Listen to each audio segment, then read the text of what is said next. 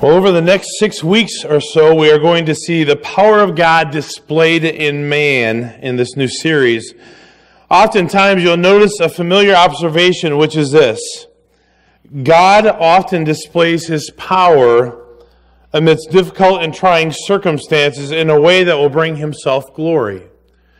Oftentimes, God displays his power amidst difficult situations, amidst trials, for one reason to bring himself glory.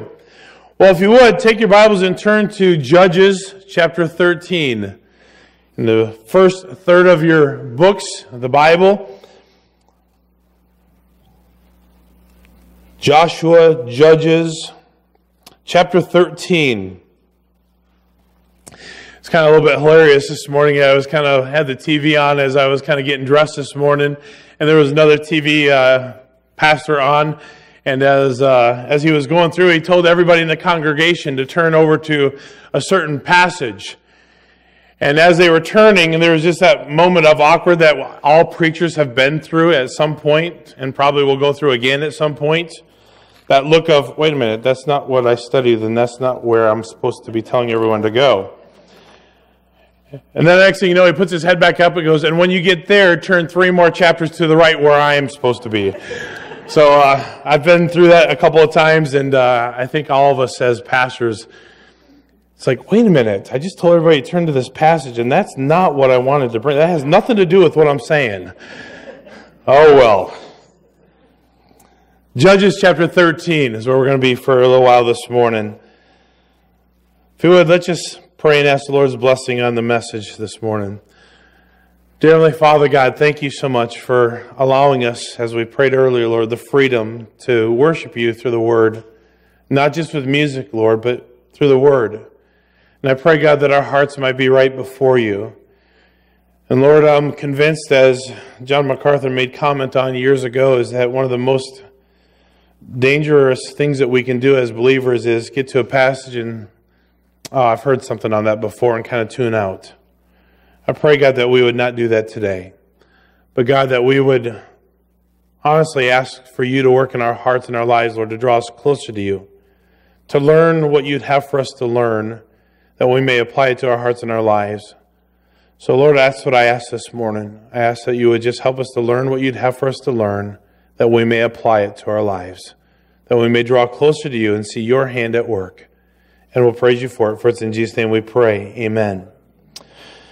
Well, consider a man named Samson, um, born in a period of history whereby the Israelites were doing evil in the sight of God. And so God, as always, has a plan. And oftentimes, even though we may not see his plan fully enacted, we know that he's always behind the scenes working.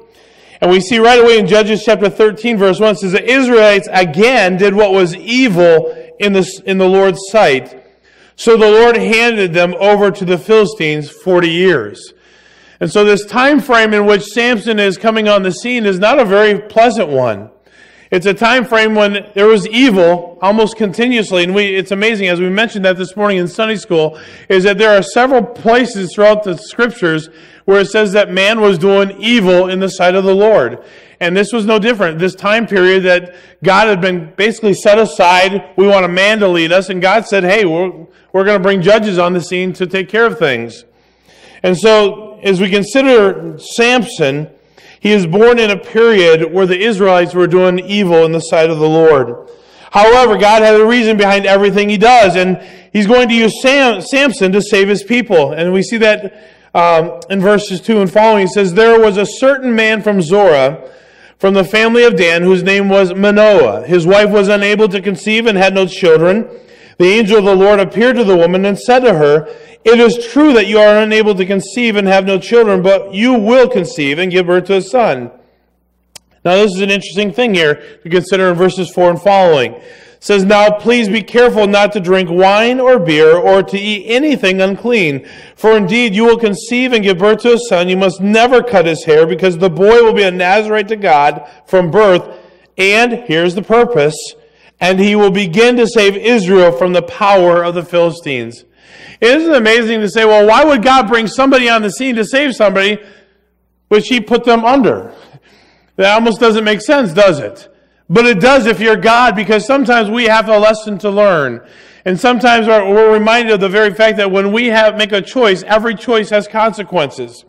And so the consequence of Israel living in sin and doing what is evil in the sight of the Lord was God, God said, listen, you're going you're going to act that way. You want to make these kinds of choices? Okay. Suffer the consequence of those choices, which is you're going to be under the hand and under the thumb of the Philistines. And so even though God put them under them, God says they're going to learn a lesson and then I'm going to bring them out from it. It's amazing that he is going to use Samson to accomplish his will. But Samson was going to be a Nazarite. So he says, I'm going to bless Manoah and his wife while I'm at it. Isn't it amazing that even amidst the difficulties, God brings those blessings into our lives that only he can bring? I mean, here's Manoah and his wife. They're unable to have children.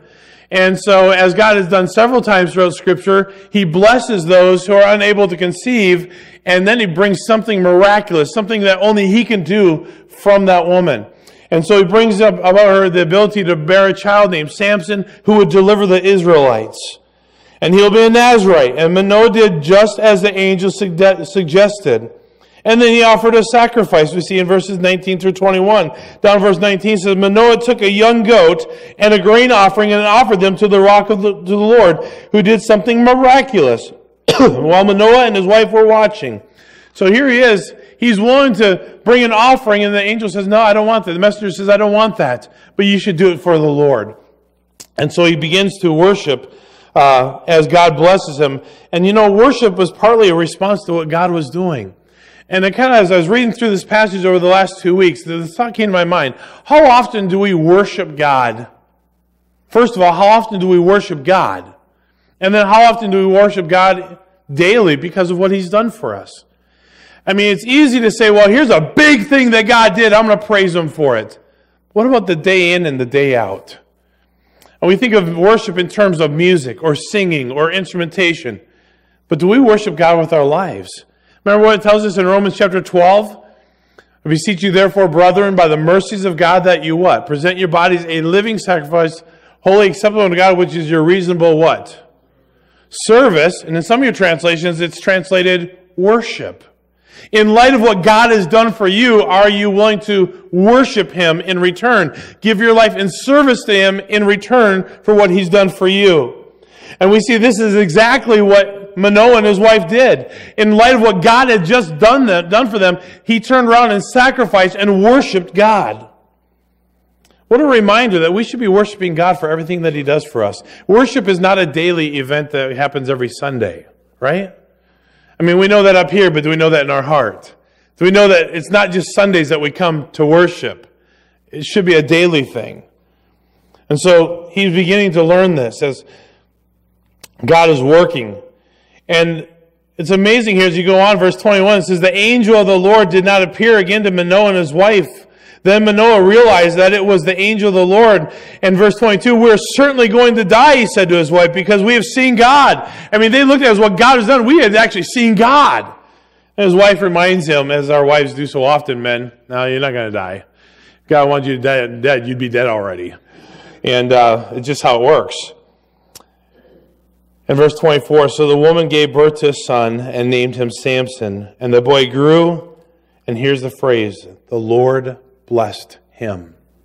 The Lord blessed him. And as we see this thing, and what I want us to see over the next several weeks is that God works powerfully in and through man. But it's not the man who does it.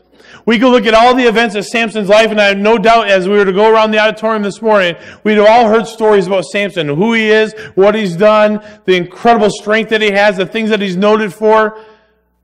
But sometimes, if we're not careful, we get the idea that it was Samson who did it. It wasn't Samson, it was God working through Samson, right? We all know that, right? There we go. So it's not Samson. It wasn't that he was just a behemoth of a man although he could have been, it was God working through him to accomplish his will. Because remember, it was never about Samson. It was about God using a man, displaying his power through man, that he might free the children of Israel. So the bottom line is God's hand was upon him. And the boy grew, and the Lord blessed, and then the Spirit of the Lord began to stir him in the camp of Dan between Zorah and Eshtaol. So here's what happens. Samson begins to grow into a strong young man. And God's hand is upon him. The Spirit's working through him. And really what God had called him, what God had bore him for, the purpose for which he was alive, is going to now start to come to fruition. And we see it in verse 14 as we read through this story a little bit. So follow along as I begin reading in chapter 14, verse 1. So Samson went down to Timnah and saw a young Philistine woman there. And he went back and told his father and his mother, I have seen a young Philistine woman in Timnah. Now get her for me as a wife. Wow, a little, a little bit bossy, isn't he? I mean, get her for me. I've seen her. I want her. Make it happen, Dad. By the way, my kids, don't ever tell me to do that because you may not like what I choose. So far, you're doing pretty good, though. Um, but his father and mother said to him, Can't you find a young woman among your relatives or among any of our people? Must you go to the uncircumcised Philistines for a wife? Now think about this just for a moment. Is this a little bit of an oxymoron here? I mean, they're under the hand, under the oppression of who? The Philistines. And where does Sam, Samson want to find a wife amongst? The Philistines. Who God has set him to free from the Philistines. And mom and dad are like, uh, I don't know about this, Samson. Are you sure there's not anyone else you can find? I mean, there isn't there anybody around here that you could like hook up with? But no, no, I want this woman.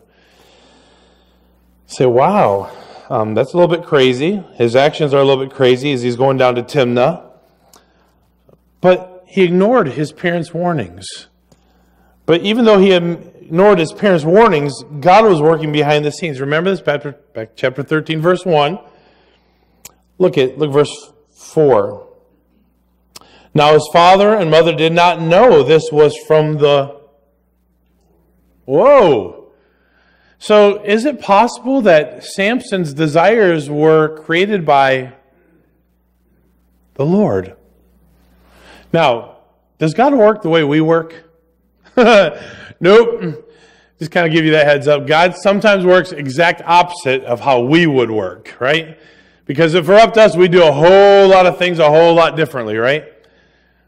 But God is working through Samson to free the Israelites. So it's almost like God has this plan. He's going to just kind of implant Samson in the midst of it all. And his father and mother did not know that this was from the Lord, who wanted the Philistines to provide an opportunity for confrontation. You see, God was working behind the scenes. I want to get Samson in there. He's going to create a scene that we can work through. So at that time, the Philistines were ruling Israel. So, verse 5 Samson went down to Timnah with his father and mother and came to the vineyards of Timnah, and suddenly a young lion came roaring at him. And you're going to find out three times in the next couple chapters, three times this phrase comes out. The Spirit of the Lord came powerfully upon him. Three times the Spirit of the Lord came powerfully upon him. The first time says that he tore the lion apart with his bare hands as he might have torn a young goat. Think about that. But I want you to remember something. I don't believe it is because Samson was just so strong that he could just do whatever with his big muscles. I believe that God's hand was on him. That the Spirit of the Lord was working through him. It was God's power on display through Samson, right? So, but he did not tell his father or mother what he had done. Then he went on and spoke to the woman because she seemed right to Samson. Isn't it amazing how what we do, our actions, follow what we think? So God's word says, as a man thinketh in his heart, so is he. So our thoughts become, what's the word? Actions and who we are. So we have to be careful to guard our thoughts, which will in turn help us control our actions. So Samson was doing what he was doing, even though God was working behind the scenes, because it was what seemed right to him. As we see there in verse 7. So after some time, when he returned to marry her, he left the road to see the lion's carcass, and there was a swarm of bees with honey in the carcass. This is the lion that he just killed. It had been sitting there. We don't know how long he was gone, but he was gone long enough for the bees to have found it and, and to, to have built a nest into the, the carcass of the lion. So he scooped some honey into his hands and ate it as he went along. And when he came to his father and mother, he gave some to them and they ate it. I'm thinking to myself, this must have been a monster amount of bees. If he's eaten enough that he's eaten along the way and he goes and brings some back to his parents, must have been a monster amount of bees, and maybe he was gone for longer than we think. But verse 10 his father went to visit the woman, and Samson prepared a feast there. As young women were accustomed to do, when the Philistines saw him, they brought 30 men to accompany him.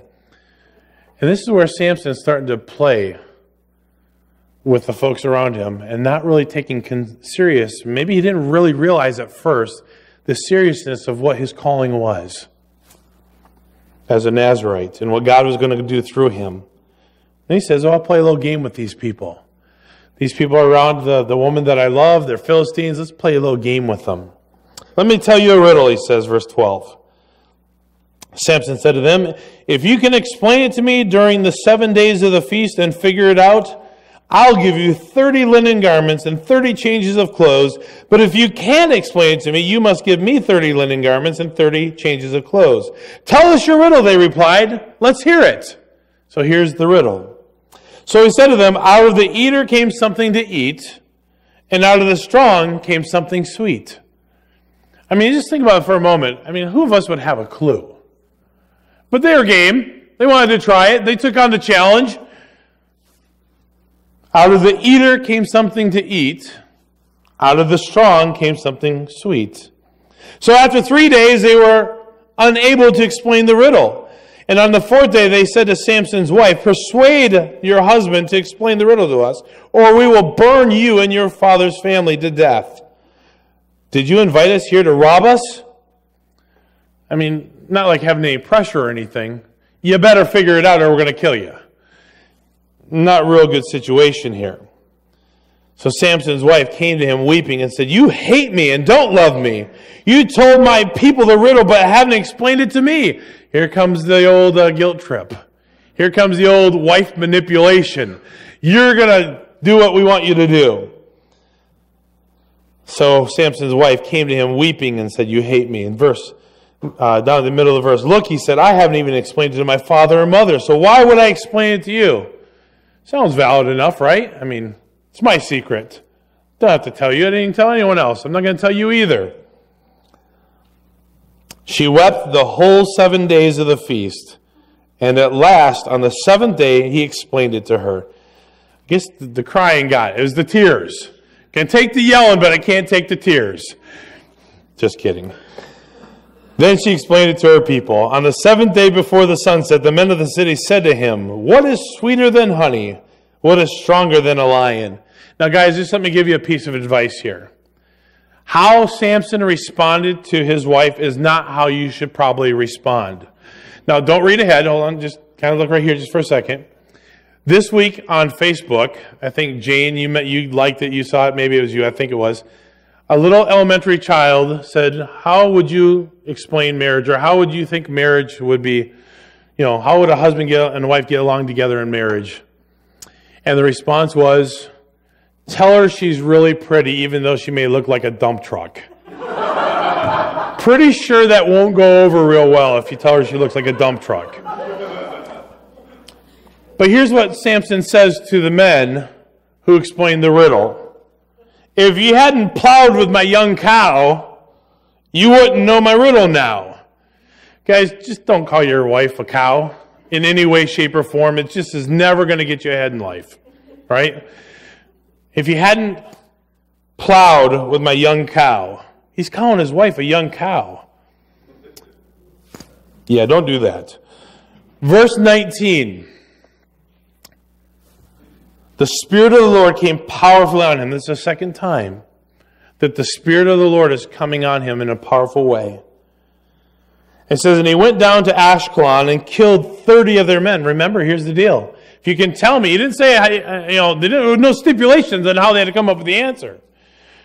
Threatening the wife, she's probably going to figure out what she can do to get the answer. But the bottom line is, they gave him the answer, and he had to come up with 30 garments. So he goes down to Ashkelon and kills 30 of their men, strips them, and gave their clothes to those who explained the riddle. In rage, Samson returned to his father's house, and his wife was given to one of the men who had accompanied him. Now, wait a minute. Maybe she got word that she, called, she was called a young cow. I don't know. But next thing you know, she's married now to someone else. Dad gave her away to someone else. And then he kind of justifies it a little bit. Chapter 15. Later on, during the wheat harvest, Samson took a young goat as a gift and visited his wife, who's now with someone else. I wanted to go to my wife in her room, and he said, but her father would not let him enter. I was sure you hated her, her father said. He made an assumption that because she gave it up, that maybe Samson didn't love her anymore. So he gave her to someone else. So I gave her to one of the men who accompanied you. Isn't her younger sister more beautiful than she is? Why not take her instead? Well, there's kind of only one problem with that. I ain't married to her, I'm married to her. Little situation going on here. So, verse 3 Samson said to them, This time I will be blameless when I harm the Philistines.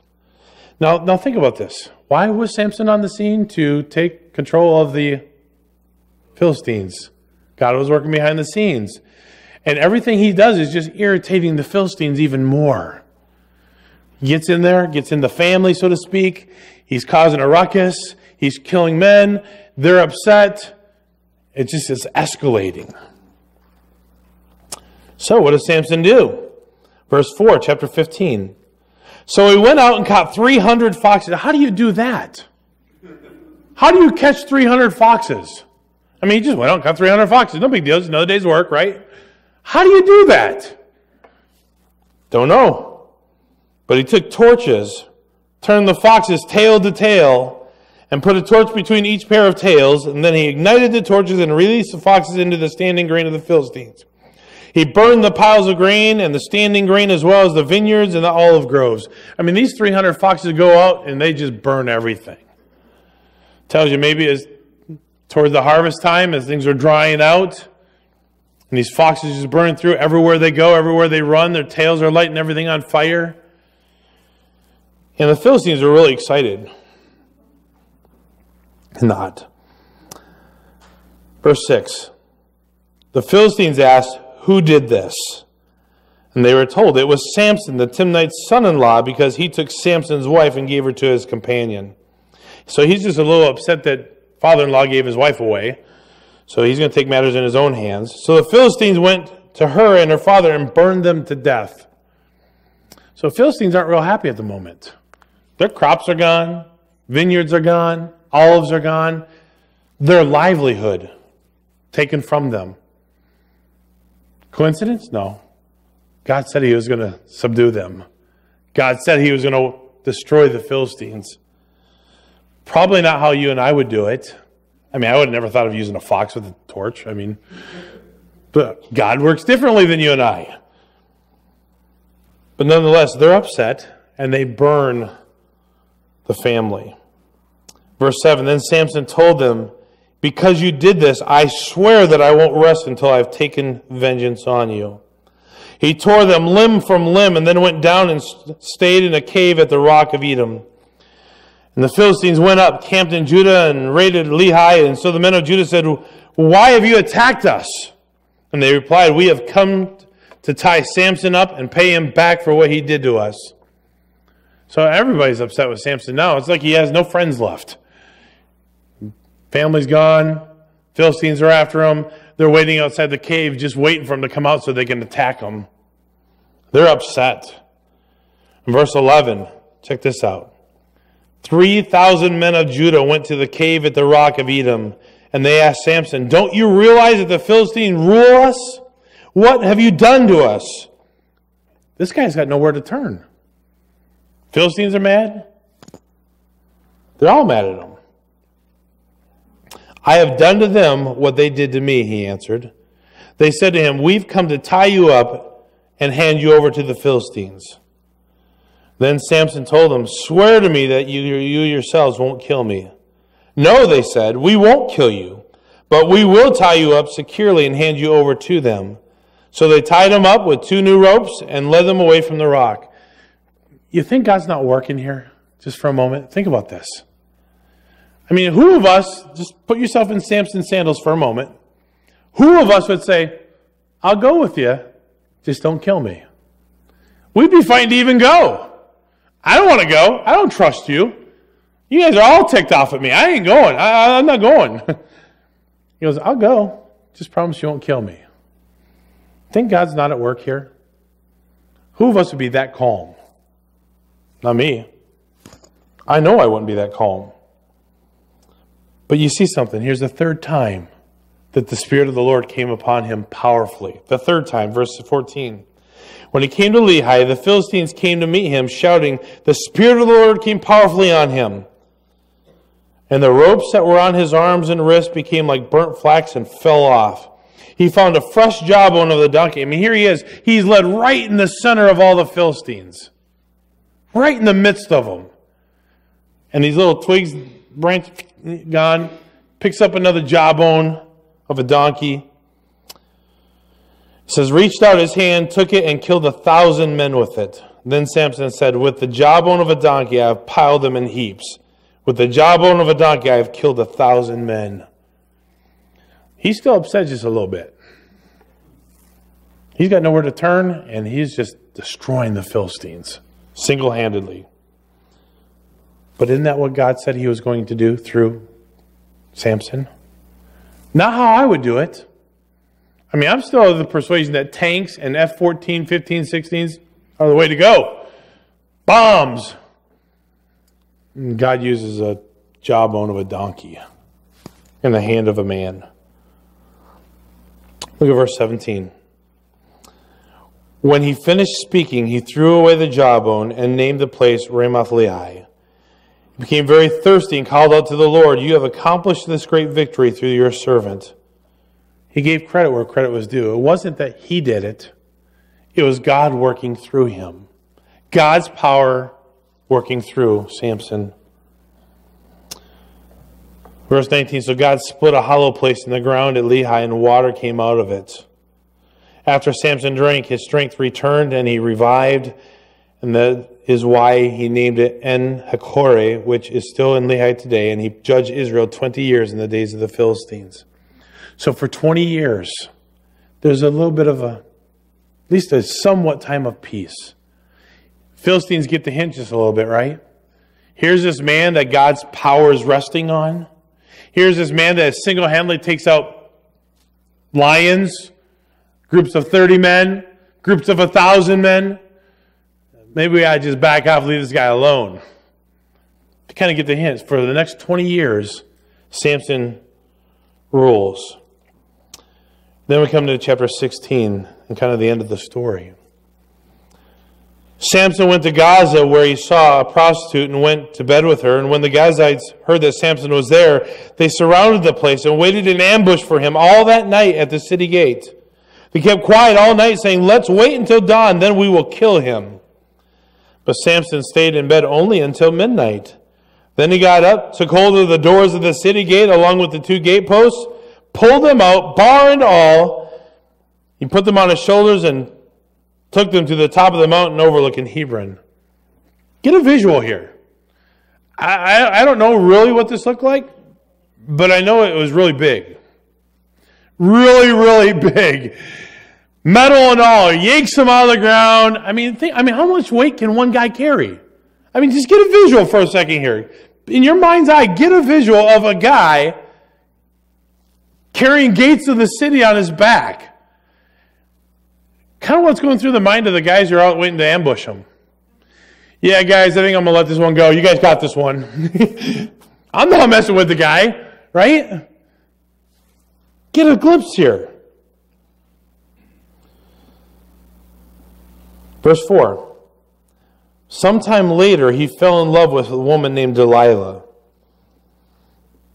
who lived in Sorek Valley. The Philistine leaders, leaders went to her and said, Persuade him to tell you where his great strength comes from, so we can overpower him, tie him up, and make him helpless. Each of us will then give you 11 pieces of 1100 pieces of silver. So Delilah, wanting the silver, why not? Sounds like a great idea. All these people, 1100 each? Sounds like a great idea. So Delilah said to Samson, Please tell me, where does your great strength come from? How could someone tie you up and make you helpless? Samson told her, If they tie me up with seven fresh bowstrings that have not been dried, I will become weak and be like any other man. I think Samson had enough idea to know that this lady's not on board with all of it. I mean, a couple fries short of the Happy Meal. Yeah, I'm just going to tell you that. No problem. Here you go. Not.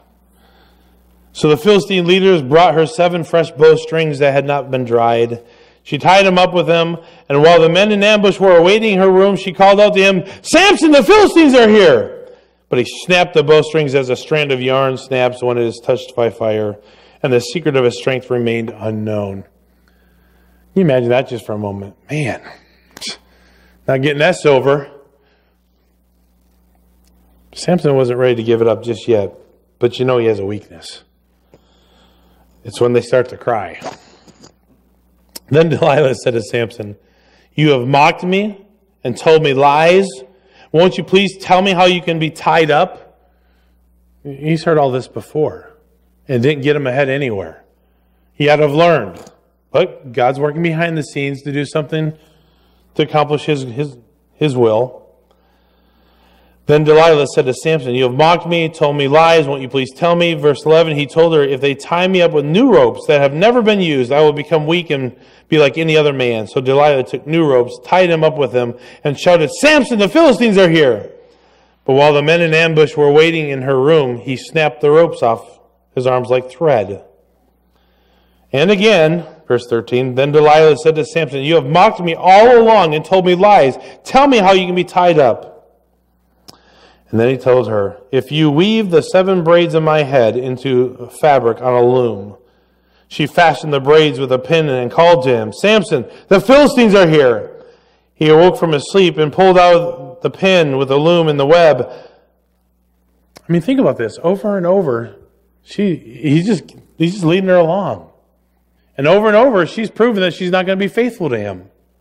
Over and over, he just breaks out. In verse 15, here comes the pity me. How can you say I love you, she told him, when your heart is not with me? This is the third time you have mocked me and not told me what makes your strength so great. And if you're Samson, you're saying, This is the third time that you haven't been honest with me and you tried to kill me. But he didn't. So over and over, the Philistine leaders brought her seven bowstrings, all these things. He just, nothing worked. Verse 16, but she nagged him day after day and pleaded with him until she wore him out. Here it is. She wore him out to the point where he just said, I'm done, done. I don't want to listen to this anymore. Because she nagged him day after day and pleaded with him until she wore him out, he told her the whole truth and said to her, My hair has never been cut, because I'm a Nazarite to God from birth. If I am shaved, my strength will leave me, and I will become weak and be like any other man. And when Delilah realized that he had told her the whole truth, she sent this message to the Philistine leaders Come one more time, for he has told me the whole truth. The Philistine leaders came to her and brought the silver with them. And they're confident this time we're going to get him. Then she let him fall asleep on her lap and called a man to shave off the seven braids on his head. In this way, she made him helpless, and his strength left him. Then she cried, Samson, the Philistines are here! And when he awoke from his sleep, he said, I will escape as I did before and shake myself free. But he did not know that the Lord had left him. Three times the Spirit of the Lord came on him powerfully. And this time, the Spirit of the Lord was gone. Verse 21 The Philistines seized him, gouged out his eyes, they brought him down to Gaza and bound him with bronze shackles, and he was forced to grind grain in the prison. Look at verse 22. But his hair began to grow back after it had been shaved. And now the Philistine leaders gathered together to offer a great sacrifice to the god Dagon. And they rejoiced and said, Our God has handed over our enemy Samson to us. And when the people saw him, they praised their God and said, Our God has handed over to us our enemy who destroyed our land and who multiplied our dead. And when they were in good spirits, they said, Bring Samson here to entertain us. So they brought Samson from prison, and he entertained them and had him stand between the pillars. Probably the picture in our minds that we're most familiar with. I don't know exactly how this happened, but kind of get an idea from the story and how it's written that there's these pillars and and yet it doesn't say that he pulled them in and it broke. It says that he pushed them. So I'm not exactly how this all works out, but listen to this as we close the story.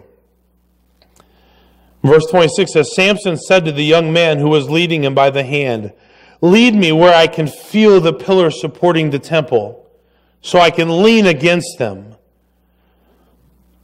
And the temple was full of men and women, and all the leaders of the Philistines were there, and about 3,000 men and women were on the roof watching Samson entertain them. So not only was the temple full, 3,000 of them were on the roof of the temple. Everybody watching to see what Samson was going to do. He's just a spectacle. This man who had carried the gates of the city. This man who had torn apart a lion with his hands. This man who had killed 30 just for their garments. This man who had taken a jawbone of a donkey and killed a thousand. Now he's just a spectacle for everyone to watch. But remember, God is still in control. And God is still working through him to accomplish his own will. So, verse 28. He called out to the Lord, Lord God, please remember me. Strengthen me, God, just once more. With one act of vengeance, let me pay back the Philistines for my two eyes. Verse 29 Samson took hold of the two middle pillars supporting the temple. He leaned against them, one on his right hand and one other on his left, and Samson said, Let me die with the Philistines. He pushed with all his might, and the temple fell on the leaders and all the people in it, and those he killed at his death were more than those he had killed in his life. You see, God always has a plan. So it's kind of a crazy plan. I mean, it's not. I mean, wouldn't it just been easier to do something else? Maybe. But see, a lot of people were involved in the plan. See, it all started with Manoah and his wife who couldn't have a child. They wanted a child, but they couldn't have one. And God says, I'm going to bless you with a child, but not just an ordinary child. I'm going to bless you with a judge named Samson. And Samson is going to take care of the Philistines for me. God always has a lot of people, and it caused Manoah and his wife to begin to worship Lord and to sacrifice to the Lord. It caused Samson to realize that it's not about me. In the end, he said, Lord, just one more time, give me the strength so I may take vengeance on these people. In doing so, he might have been doing it selfishly, but in doing so, he was accomplishing God's will, wasn't he? Destroying the Philistines and taking care of them. All these people that were on the roof of the, of the, of the temple and all those that were inside of it in just a moment of time, pushing this. Can you imagine just being, once again, just imagine for a moment. You're one of the people in the stands, so to speak. You're a spectator watching Samson lean against the pillars. What would be going through your mind? There is no way in heaven this guy's going to knock out a pillar. Are you kidding me? Not going to happen. After all, he's, he's ordinary now. He doesn't have the strength that he once had. This, this guy's crazy. But in the next thought, they're all being crushed. Said, Let me die. And he pushed with all his might, and the temple fell on the leaders and all the people in it. And those he killed at his death were more than those he killed. In verse 31, then his brothers and all his father's family came down, carried him back, buried him between Zorah and Eshtaol in the tomb of his father Manoah. So he judged Israel 20 years. God displayed his power through Samson. I have to wonder as I was thinking about how how does this apply to you and me? So it's just a neat story.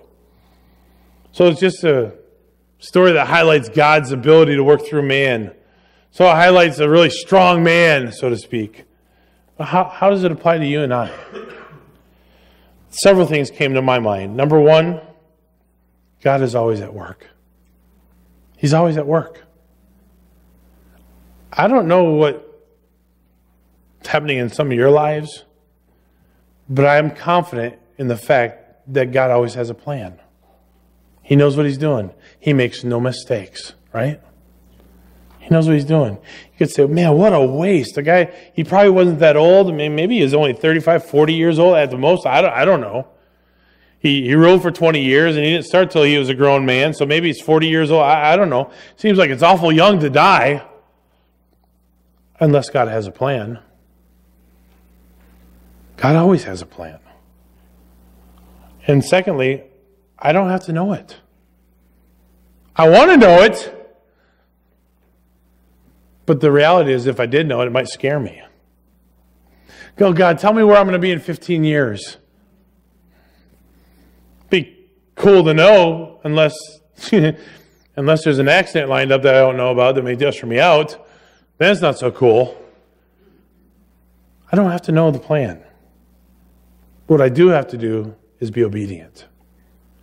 Take each day and trust God with it. Each day. Not next week, not three weeks from now, but today. Trust God today, knowing that He's in control. Number three, it's not about me. We say that all the time, but do we really believe that? It's not about me. It's about what God's doing through me. Because if we're walking in obedience to God, anything that God does choose to do through us, brings the glory back to Him. In the end, God accomplished His goal. Not how you would do it, not how I would do it, but God accomplished His goal.